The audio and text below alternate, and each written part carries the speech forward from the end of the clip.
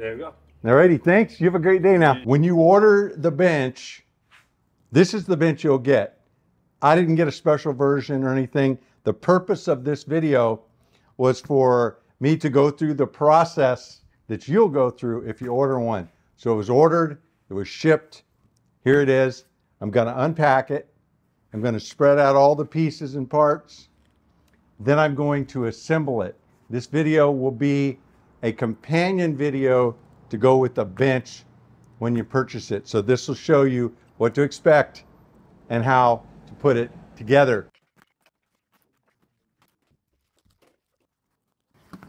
Make sure you check around on your box for the stickers from the Smart Wood Shop. You don't want to miss out on those. Look at that beautiful top. All the 20 millimeter holes precisely placed, 96 millimeters apart with an extra row all the way around that's 32 millimeters in from the edge.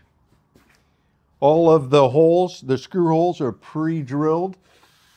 And then I've added to the CNC version these tabs and slots so that it'll be a lot easier to assemble.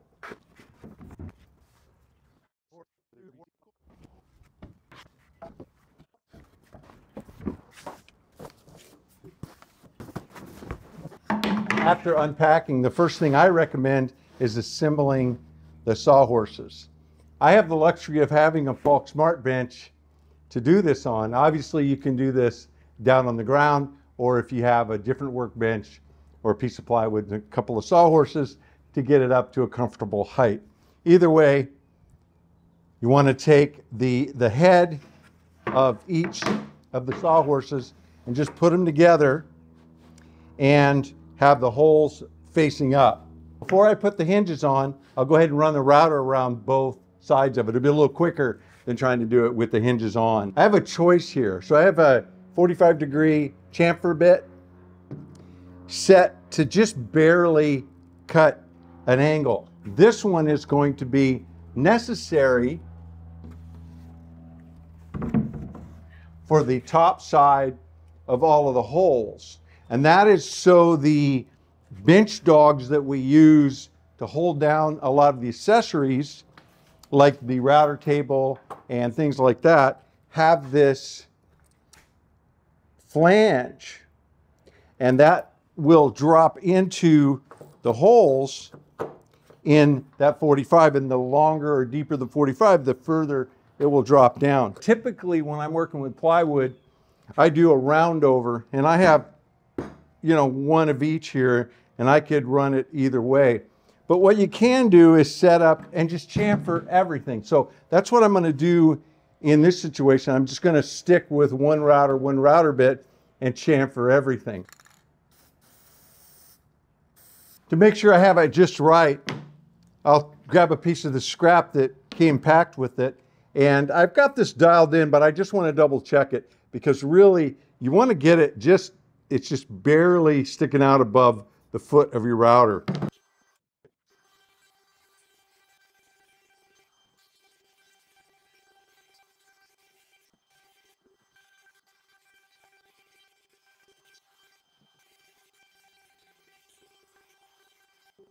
I do want to emphasize that rounding or beveling the edges on the sawhorses and actually all of the pieces with the exception of the top, the top side of the 20 millimeter holes is optional. I wanted to add the uh, chamfering uh, to, or rounding over to all the edges and especially to chamfering the holes on the top.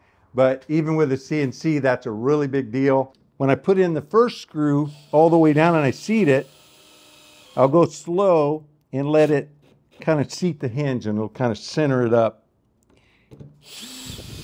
And then the same thing here. So it draws the horses together right where they need to be.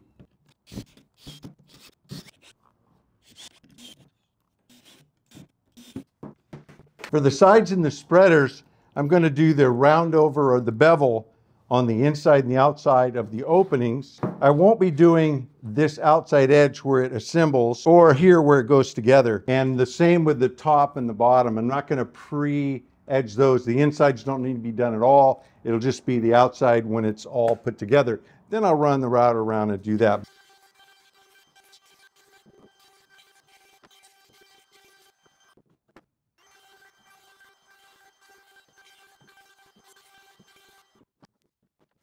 Both sides look really good. It's hard to decide where's the inside and the outside. This one has kind of an attractive grain to it. I think I'll put this to the outside. It does appear that the machine drilled holes uh, are slightly bigger on one side, so I would say that this would have been the top side uh, when the machine was cutting and drilling. So I'll stick with that. And this bench can last you a lifetime and the glue will be a big part of that.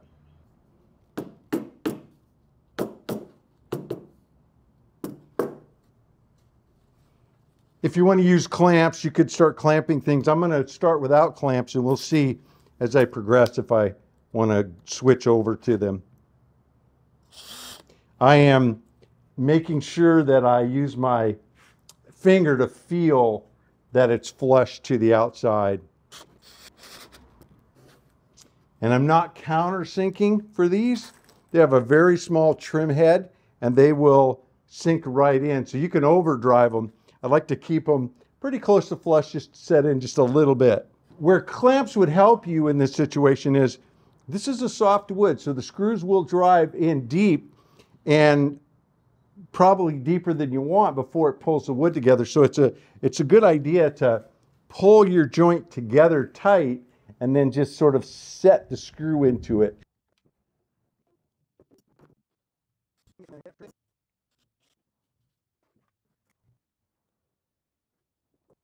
The uh, tab is big enough that it squares it up.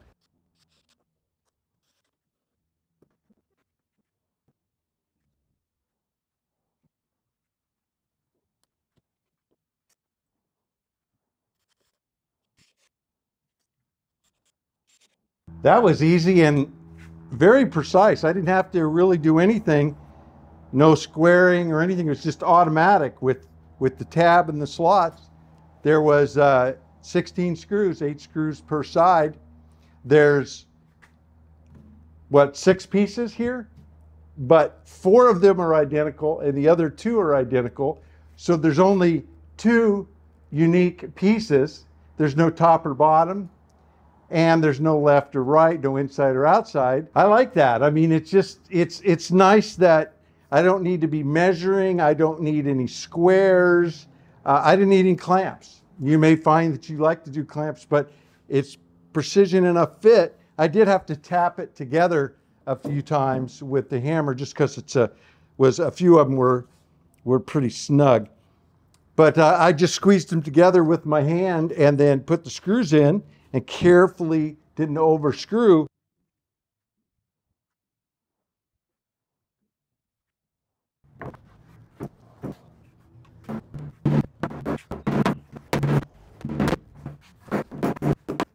There's real no fitting if you just, everything is held together. Now, as I'm screwing this together, there is going to be a little flex on the, as we get to the middle of these sides because they're thinner and they can move a bit. So uh, I'll, I'll make sure that I flush those up with my fingers as I'm putting in the screws. Here it's a shorter stretch and it's got it's tied together in the middle, so I don't I don't feel any flex in those.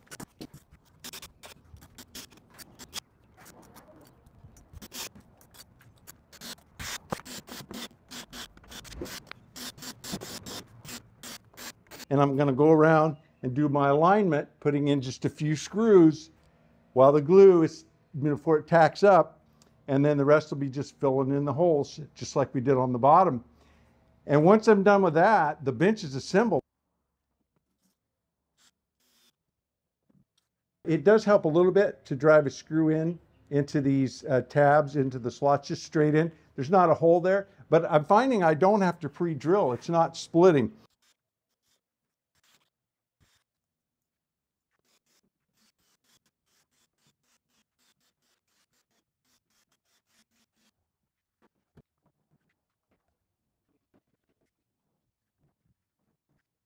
So that's it on assembly.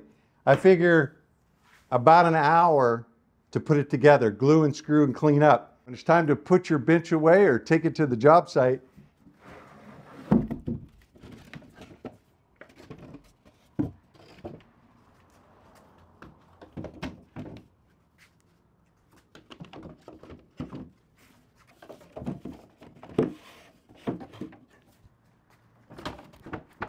Now you know how easy it is to put together. If you want to get a Paulk Smart bench for yourself, I'll put a link in the description down below.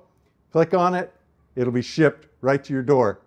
Mahalo for hanging out with me in the Smart Wood Shop.